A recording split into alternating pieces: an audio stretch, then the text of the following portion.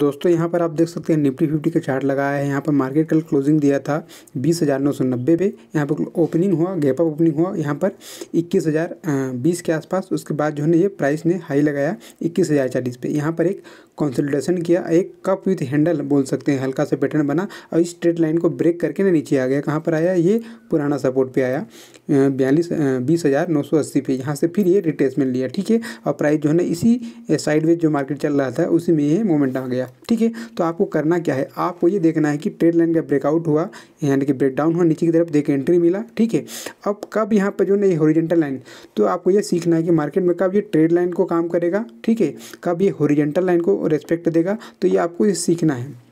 तीसरा लेसन आपको सीखने को मिलेगा, जब भी प्राइस नब्बे डिग्री में गिरता है तो वो उसका ना फोर्टी परसेंट या फिर फिफ्टी परसेंट रिटेसमेंट ज़रूर लेगा। तो ये हंड्रेड परसेंट सच है।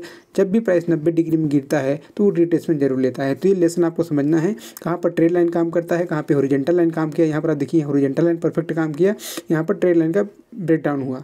तो ये आपको सीखना है। इस तरीके से मार्केट के स्ट्रक्चर को ट्रेड किया जाता है।